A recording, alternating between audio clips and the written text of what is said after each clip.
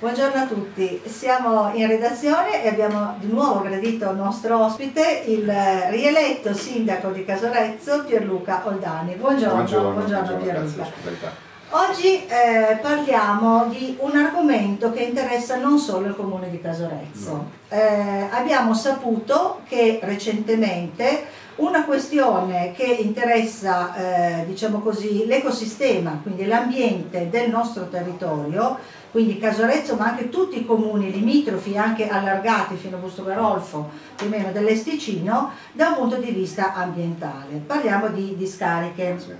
Eh, con te avevamo già chiacchierato su quello che erano i progetti eh, tuoi, della tua lista, del comune, la vostra battaglia eh, nei confronti della discarica, quindi una battaglia civica.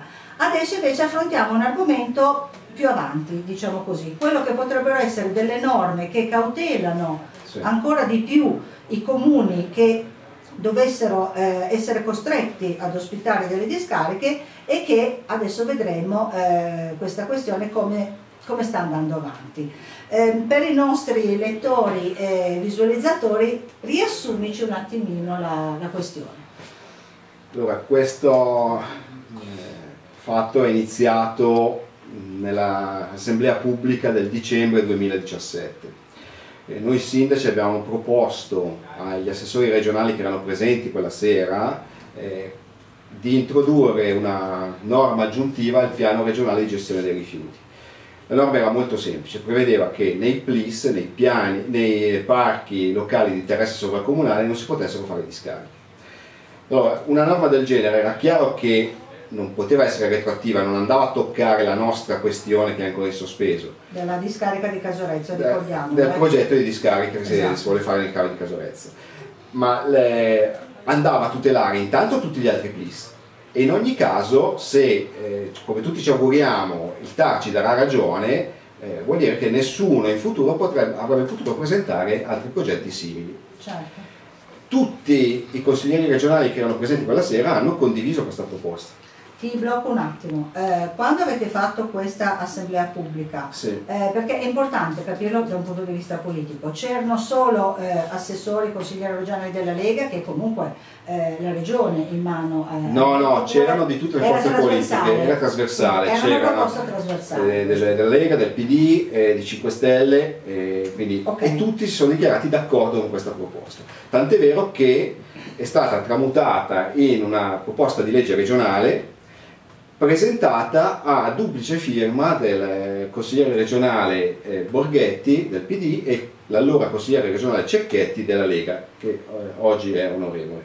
Eh, quando era stata presentata eravamo in chiusura. Eravamo in chiusura di, eh, ehm, di legislatura, di legislatura per regione. la regione Lombardia. Esatto. E infatti ci avevano chiesto di attendere eh, diciamo, le elezioni, il mandati, eccetera, eccetera. Poi cosa è successo? Sono state le elezioni e martedì scorso quando praticamente il Presidente Fontana ha invitato tutti i sindaci neoeletti per un saluto istituzionale per dire che avrebbe collaborato con i territori, proprio in quell'occasione il Consiglio regionale ha scelto di non votare questa proposta. Fammi capire, fammi capire per Luca, voi siete stati invitati da Fontana per conoscervi, sì, no? per salutarvi saluto istituzionale. istituzionale dopo la vostra eh, elezione esatto. alle amministrative del 26 maggio. Parallelamente, mentre voi eravate, eh, diciamo così, in amena seduta con Fontana, sì. il Consiglio regionale bocciava... Sì, ha scelto di non votare. Ha scelto di non votare. Cosa vuol dire scegliere di non votare una proposta di legge? Eh, vuol dire che praticamente la si, si ritira dalla, dai lavori del, del Quindi non verrà più presa in considerazione? Ecco, questo magari lo eh, rivediamo, okay. perché la nostra proposta è invece che venga eh, ripresa in considerazione. Allora, quindi... Tra l'altro, chiedo scusa se interrompo, certo. in quella stessa stessa seduta, si può vedere sulla registrazione. Sì, eh, poi magari la, la mettiamo eh, all'interno dell'articolo. Sì, l'assessore regionale all'ambiente si è dichiarato contrario a questa norma. Che adesso è Cattaneo. Sì, esatto. io mh, mm, credo che in un momento storico in cui centinaia e migliaia di giovani ci chiedono di cambiare rotta, un assessore regionale all'ambiente che è contrario a una norma salva ambiente non è più accettabile.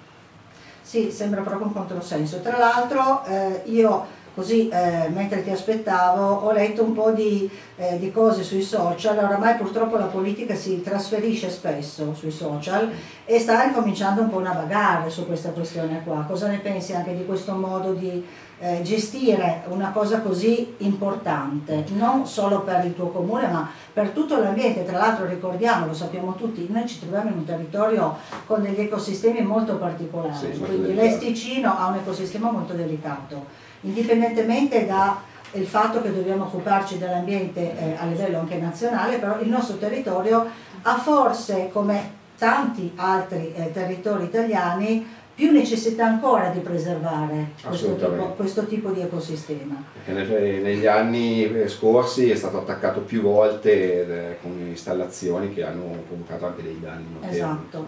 Eh, ma, cosa sta succedendo adesso? C'è un po' io, di maretta, un po' di bagarre o sbaglio? L'ho capito Sì, io, qualcuno sta tentando di eh, buttarla sulla solita diatriba da stadio eh, con me contro di me. Non è così quando le responsabilità sono state di città metropolitana le abbiamo evidenziate con decisione, così come quelle del, del PD che eh, praticamente sta gestendo la città metropolitana. In questo caso la questione riguarda la Regione Lombardia, quindi esatto. evidenziamo le responsabilità di Regione Lombardia e del Consiglio regionale della Lombardia. Che ha deciso, il Consiglio, eh, il Consiglio ha deciso di non votare, di votare questa, questa, norma che tutela il PLIS.